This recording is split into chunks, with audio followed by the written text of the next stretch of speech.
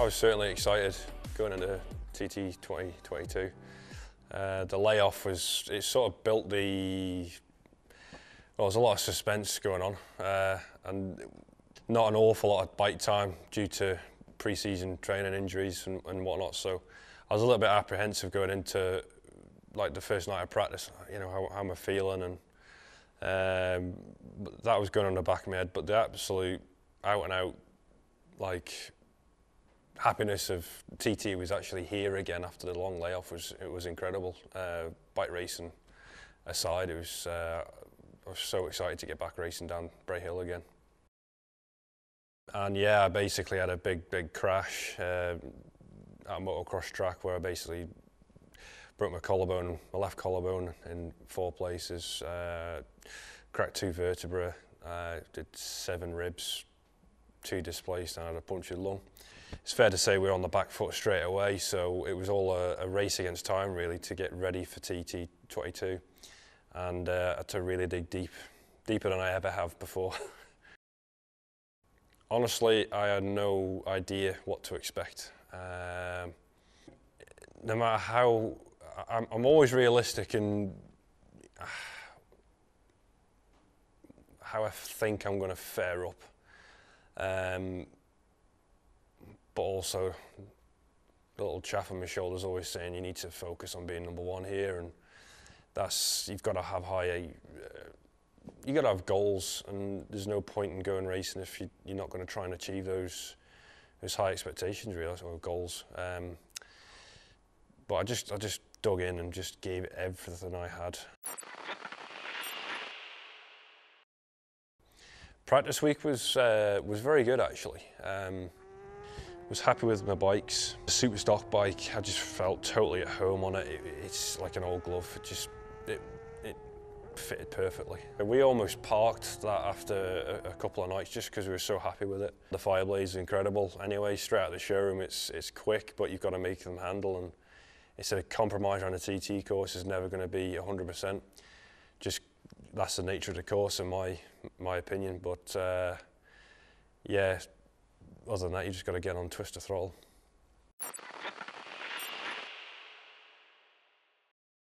Same as always, really. Just get up, bit of breakfast, nail the coffee machine, uh, make sure the girls are all right.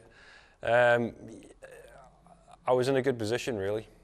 I felt, I felt, felt confident in the package underneath me, and uh, I felt confident in the way I was riding. Um, and it was literally just get on it and go for it as, as I always do, no matter what bike I'm on. I mean, it could be a pit bike and I try to go fast on it. It's just the way I do things. I think the three lap race format was was a nice change actually. I think it you know changed it up a little bit and I think it certainly got the riders thinking. Pit after one lap, you know, it was a mandatory pit stop.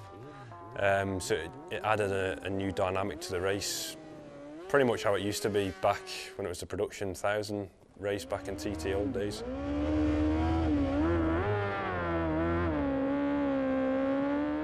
I like having a target in front. Um, I've done number one now for two years, and whilst it's, it's quite a thing, bit of a bit of an accolade, I suppose, to say you've gone off at one at the TT. Um, I think it ran its course for me and I wanted a, another challenge and to have people in front of you is quite a good thing because like the ultimate carrot really. You want to try and catch them no matter where they are in their race. It sort of drags you on a little bit in my view so it worked. The whole build up starts when you get your lid, you tuck your lid on and you get on your bike and you're sort of moving closer and closer to the start and uh, you sort of anticipate when the flag is about to drop and I, I've, this, I suppose is what everyone does really but on this day I was no different and rolled to my start position, um, built my revs up, got the clutch on right on biting point.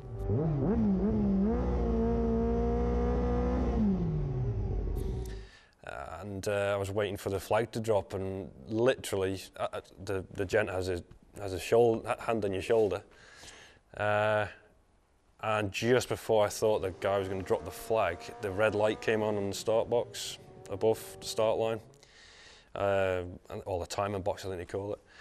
So I dropped the revs, thinking, well, it's a red flag, thinking, unfortunately, someone's had an accident, so that's the race stopped. So next thing, the flag dropped. And then I was thinking, well, what do I do now? And the, the, the guy's hand came off my shoulder, so, and he literally just went like that, as if to say, on you go. Um, so I was probably sat there two, three seconds before actually realising that it was a false, false red flag, unfortunately. But that, that dropped me a bit of time. Almost immediately as I dropped the clutch, I thought, right, I've got to just forget that, just because I've got a long race ahead of me here. Um, and I just went into full focus mode, but I, it was still in the back of my head, I've got to be honest. And I made a couple of little errors into Quarter Bridge and Braddan, just the first few miles to try and settle myself down. And so the impact, whilst I don't think it was going to change the result, I think it certainly had an impact at the start of the race anyway, and where I sort of slotted in at the first sector. I probably calmed down, I would say, by probably Crosby, Greeba, Greeba Castle. Just by the nature of the course, you have, well, you have to be focused the whole way around, but the the course gets, starts to get really tricky. So I think the the fact that it gets like that, you have to focus even harder. So once that was done, it was just focus on the race ahead, like and get a nice rest of the lap into the pit, a solid pit, and then final two laps.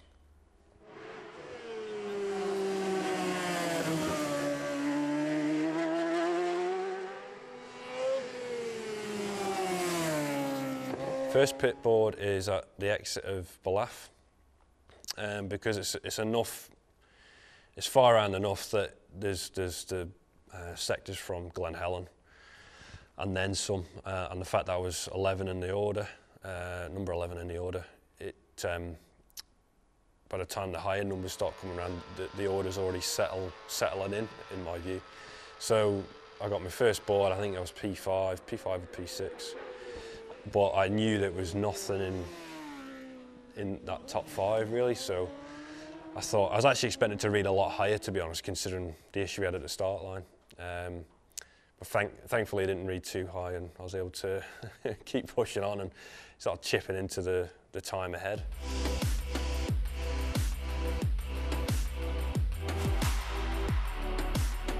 If anything, I've, I've always been trying to be faster in the first sector to Glen Helen because I've always felt like that's my weakest sector and really almost lost sight of the others after that. But for some reason, I've ended up going faster through that Ramsey sector, which is which is which is good. To be honest, I'm, I'm not going to grumble at that. Um, but yeah, I did notice it myself.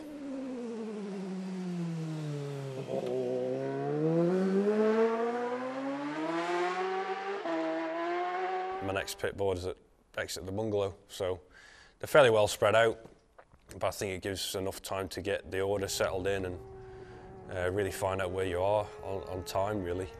Um, so yeah, and thankfully it started to, I've started to work my way up. On corrected time, we, we caught up with Dean and uh, yeah, yeah, it was it was nice really. I, di I didn't know I didn't know who I was dicing with until the first pit stop, and then uh, that sort of was made fairly clear. It was like Dean and Davey, um, so just got the hammer down and went for it again.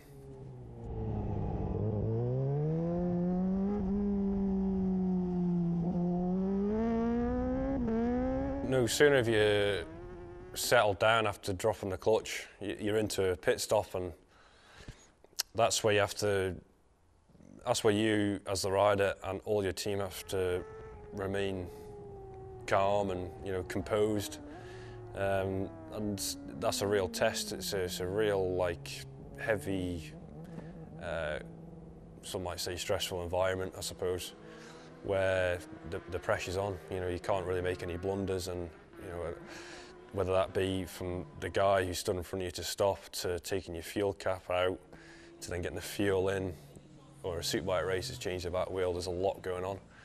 Um, yeah, fairly, fairly frantic, and it was a it's a splash and dash sort of a pit stop really.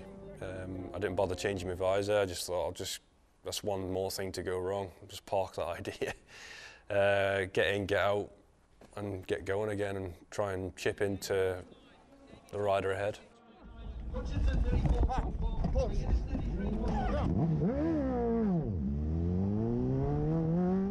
You have to have composure and just keep calm, just keep sipping on your drink, and uh, it's, it's quite a weird.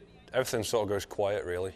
Um, and I've heard a few other riders say the same sort of thing. Um, it just goes a bit, just goes quiet, and you're almost having to glance down to make sure the fuel's going in and you know, everything's running smoothly. And uh, yeah, it's just like this calm uh, in, in the air. And once the fuel cap's down, it's bang, straight back out there.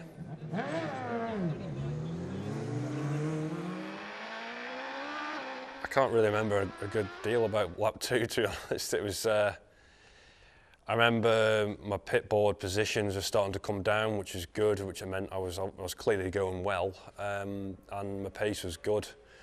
Um, I knew I was in a dice, and I sort of held station the whole lap. I think I was like, it might have been third or fourth, uh, going to lap, lap two.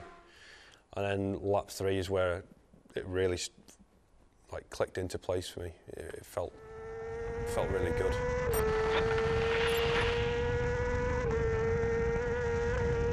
Getting your flying lap and, and, the only flying lap of the race and the superstock race was uh, was quite nice. Obviously, you're going down, starting your lap going down Bray Hill, you're going a lot faster because you got the run, and obviously that uh, alters your braking going into Quarter Bridge as well. Um, and I felt that's one probably one place where I was a, I was better and stronger this year. Just at one corner, I was I was stronger into. Might sound ridiculous, but when it's talking, you're talking tenths of seconds. It, it helped, I think. Just, I wouldn't say I was going. I wouldn't say I felt like I was going any faster. I didn't didn't feel like it was. I wasn't riding out of my skin. It was just for like a normal race to me, uh, where I, I was clearly just getting on the power a bit bit earlier and just having a go and maybe digging a bit deeper. But it didn't feel unsafe. It felt everything felt nice and smooth, really, which is the way I like to ride the TT course. I'm sure I read P2, and the, the gap at that stage, I think I actually took a, a, a chunk of time out of Peter, obviously, who was leading the race at that stage and that, that felt pretty good because I felt like I was I was clearly riding good for the first part of that lap, and it was mainly a, a case of right finish the lap off now and finish it really strong, and uh, I just started to piece all the all the sectors together quite nicely, and um, as it turned out, it was it was the strongest my strongest lap of the fortnight, so I was I was happy with that. Just hit my apexes.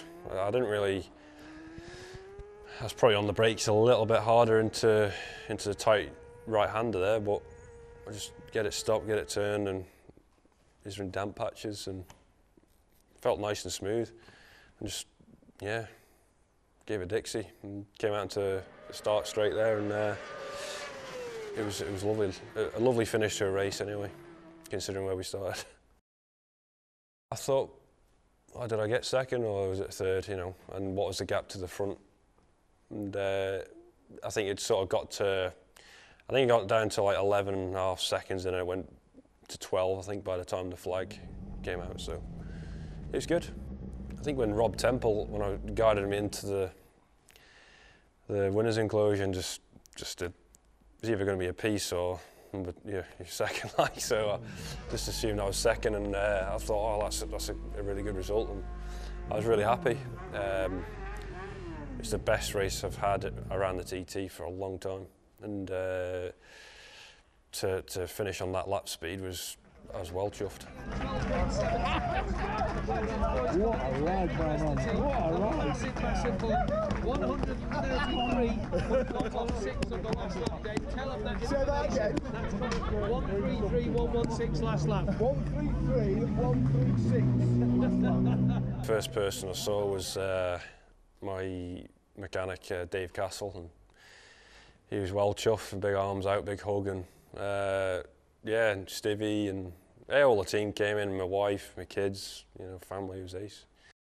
Clive was well chuffed, um, and first thing he said to me was the, the lap speed that I did on my last lap, so he was uh, he was well chuffed, yeah. So we, we came away with, with now the fastest Honda around the TT course and fourth fastest lap. Uh, so yeah, just whilst I didn't win the race, I was ecstatic. I was well chuffed with with how I rode, and uh, the, the team were well chuffed as well. Fast lap, yeah, one three three. It was good. Um, I, th I think I, I, I lost on the last lap. I actually rolled it a little bit from the to onto Cronk-y-Voddy because I felt like I had a bit of a vibration through the back end of my bike, and I was just trying to think: Is this actually? Have I just made this up in my head, or have I got a bit of an issue going on here? And I thought I'll give it a little bit of a bit of a roll, not not enough to again make any difference, but I'd lost a little bit of time there, a few tenths, and uh, sounded like I did make it up in my head because there's nothing wrong with the tyre anyway. it was all spot on. Second on the box, it was it was lovely. Just the grandstand was full, um, and it was just a nice end to a good day's racing for us. So we're, we're happy. It's not a, a, great deal I could have done any differently. I, I rode hard. I did the fastest lap of the race yes, the, there was a start line issue there, which was totally out of my control, but I don't think I couldn't have done anything differently. I, I, well, I did the fast lap of the race, and the, the, I suppose the potential to go one better was there on the day, but unfortunately it didn't happen. That's the way it is. We have to get on with it.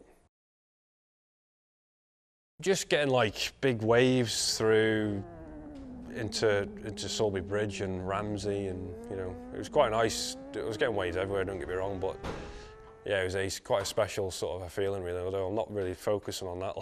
I was focused on the road ahead, but you can't help but notice it. You know, a lot of I've got so much support here on the island, and